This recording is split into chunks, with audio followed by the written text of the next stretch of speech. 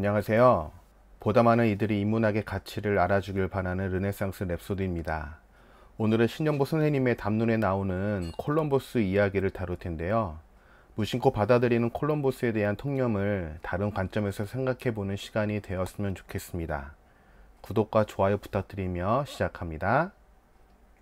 발상의 전환을 설명할 때 종종 콜럼버스의 달걀 이야기를 화두로 꺼냅니다. 내용은 이렇죠. 신대륙 항해를 마치고 돌아온 콜럼버스를 축하하고자 파티가 열립니다. 하지만 콜럼버스를 시기한 몇몇이 그의 업적에 대해 누구나 할 수 있는 일이라며 분위기를 이상하게 몰아갑니다. 이에 화가 난 콜럼버스는 자신을 폄하하는 사람들에게 달걀을 세워보라는 요구를 하는데요. 어떻게 됐을까요? 아무도 달걀을 세우지 못했습니다. 그러자 콜럼버스가 달걀을 살짝 깨뜨려 탁자 위에 세우죠. 이 예화를 통해 많은 이들이 발상의 전환이 얼마나 중요한지를 역설합니다. 부모가 자녀에게, 기업이 사원들에게 무언의 압력을 가하기도 하고요. 하지만 신영모 선생님은 콜럼버스의 달걀 이야기를 긍정하기보다 이 안에 잔혹한 폭력이 도사리고 있음을 지적합니다. 책을 한번 읽어볼까요? 계란의 모양은 어미 닭이 체온을 골고루 줄 수 있도록 만들어진 것입니다. 모든 알이 그렇습니다. 어미 품을 빠져나가 굴러가더라도 다시 돌아오게끔 만들어진 타원형의 구적입니다. 바로 생명의 모양입니다. 이것을 깨뜨려 세운다는 것은 발상의 전환이기에 앞서 생명에 대한 잔혹한 폭력입니다. 잔혹한 폭력을 발상의 전환이라고 예찬하는 건 비정함과 다르지 않습니다. 콜럼버스의 달걀 이야기에 대한 신영보 선생님의 냉정한 시선은 콜럼버스의 신대륙 발견과 결부되어 있습니다. 혹 유럽을 어떻게 생각하실지 모르겠지만 저는 여행지로서의 유럽을 참 좋아합니다. 날이 좋아도 날이 좋지 않아도 모든 게 다 좋더라고요. 여행이라는 낭만에 후한 점수를 주는 것도 있겠지만 유럽의 도시와 풍경에 반하지 않을 사람이 있을까 싶을 정도로 매력적인 장소가 바로 유럽입니다. 하지만 도시 자체가 주는 매력, 이국적인 풍경과는 별개로 유럽의 발자취를 따라가다 보면 고풍스러운 건물과 유적들이 다른 느낌으로 다가옵니다. 아름답고 찬란한 인류의 문화유산이라는 수식어 뒤에 감춰져 있는 비극과 슬픔을 마주했기 때문일까요? 이를 알게 되면 유럽에 대한 단순한 동경과 예찬이 무언가 부끄러워집니다. 콜럼버스의 신대륙 발견도 그 대표적인 예입니다. 곰곰이 생각해보면 신대륙 발견이라는 건 누구의 시선일까요? 철저히 유럽인들의 시각입니다. 신대륙에 살던 사람들의 입장에서는 낯선 이들의 방문이 맞을 텐데 많은 이들은 콜럼버스의 신대륙 발견이라는 표현을 즐겼습니다. 사실 콜럼버스의 신대륙 발견이 인류의 평화와 공존에 이바지했다면 이러한 표현도 충분히 수용할 수 있습니다. 그러나 실상은 그렇지 않았죠. 신대륙은 지금의 아메리카 대륙을 지칭합니다. 흔히 북미, 중미, 남미로 구분하는데요. 중미에 포함된 멕시코엔 당시 테오티우아칸이라는 도시가 있었습니다. 인구가 약 30만 명이었다고 하는데 당시 유럽 최대 도시였던 파리가 15만 명이었다고 하니 얼마나 큰 도시였는지 짐작할 수 있죠. 그런데 유럽에서 넘어온 500명이 멕시코의 이 도시를 잔인하게 약탈합니다. 참혹한 살인도 서슴없이 저지르면서 말이죠. 또한 1532년 피사로는 페루 북부에 상륙한 후 아타오 알파 왕을 체포합니다.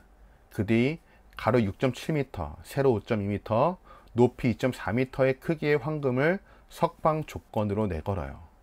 어떻게 됐을까요? 황금을 손에 넣자 약속을 어기고 아타오 알파 왕을 죽인 뒤 그 도시민들도 학살합니다. 콜럼버스의 상륙 이후 남미의 무고한 시민들이 1600만 명이나 살해되었다고 하니 얼마나 잔혹하고 끔찍했을지 상상이 안 갑니다. 북미는 최소 4천만 명에서 6천만 명으로 추산하고요. 유네스코의 세계문화유산으로 지정된 페루의 마추픽추도 실은 이런 아픔이 서려 있는 장소죠. 그야말로 아메리카 대륙은 콜럼버스의 상륙 이후 쑥대밭이 되고 맙니다. 이러한 역사가 있음에도 불구하고 콜럼버스의 신대륙 발견이라는 말을 사용해야 할까요? 콜럼버스가 나온 신대륙 학살이 훨씬 어울리지 않을까 싶습니다. 신영복 선생님은 이를 우리 안에 내재된 컴플렉스와 연결합니다. 자신도 그 컴플렉스에서 자유로울 수 없었던 예화를 들면서 말이죠.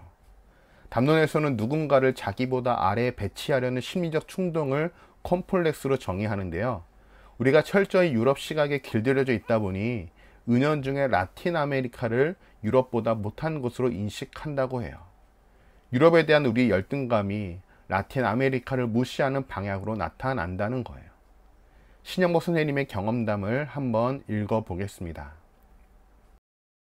멕시코 대학에서 하루를 보내며 라틴 아메리카의 노벨 문학상 수상자가 많은 이유가 유럽이 라틴 아메리카를 그들의 중하위에 견인해 두려는 정치적 배려가 아닌가 질문했다가 호되게 야단 맞았습니다. 학생들이 디에고 리베라의 벽화를 이야기했습니다. 그가 바로 피카소를 결별하고 벽화라는 새로운 장르를 개척했다는 것이었습니다. 그림은 궁정과 귀족들의 거실을 장식하는 것이 아니라 광장에서 민중들과 공유하는 정치학이라는 것이 리베라의 정신이라고. 더구나 리베라의 불행한 부인 프리다 깔로의 이야기도 충격이었습니다. 자기의 그림을 유럽의 어떠한 개념으로도 부르지 말 것을 요구했습니다. 아르헨티나의 보르헤스에 이르면 라틴 아메리카의 정신세계가 얼마나 창조적인가 실감합니다. 한마디로 라틴 아메리카는 아버지 주객기로 불리고 있을 만큼 유럽 정신에서 자유롭습니다. 우리의 경우 피카소와 결별할 수 있는 미술인이 얼마나 될까요? 콜럼버스 이후 쑥대밭이 되었음에도 유럽의 사상과 문화, 그리고 정신에 지배당하지 않으려는 라틴 아메리카의 독립성과 창조성. 신영복 선생님은 라틴 아메리카를 은근히 깔보려다가 그들이 가지고 있는 문화적 고귀함에 꼼짝없이 항복을 선언합니다. 인간이 모여있기에 무수한 불행도 생기지만 인간이 모여있기에 꽃도 함께 피는 것이죠. 그렇다면 콜럼버스가 낳은 비극이란 무엇일까요? 서구 문명이 그 어떤 문명보다 한 발 앞서 있다는 단순한 동경의식이 아닐까 싶습니다. 콜럼버스의 신대륙 발견이라는 wording 속에 길들여져 문명과 문화조차도 높낮이를 비교하려는 우리의 콤플렉스. 특히 기독교가 가지고 있는 배타적 선민사상, 특히 믿어야만 구원받는다는 지독한 우월감도 비슷한 성질입니다. 십자군 전쟁, 이슬람 혐오, 인종차별 등 이는 모두 문명적 우월성에서 뻗어나온 독버섯일 따름입니다. 이를 극복하지 못하면 지구촌이 좀 더 사람 사는 세상이 되기는 쉽지 않을 거예요. 분명 우리가 알지 못하는 오지 마을에도 숭고한 문화와 고귀한 예술, 신의 섭리가 꽃피고 있을 텐데 그건 역시 보지 못할 때고요. 이문학적 시선과 통찰을 가진 이들이 많이 필요한 이유입니다.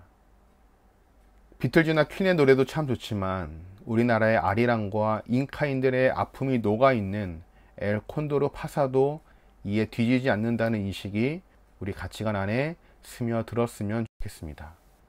오늘은 여기서 마칠게요. 잘 들어주셔서 감사하고요. 다음 시간에 또 다른 내용으로 찾아오겠습니다. 구독과 좋아요는 언제나 큰 힘이 됩니다.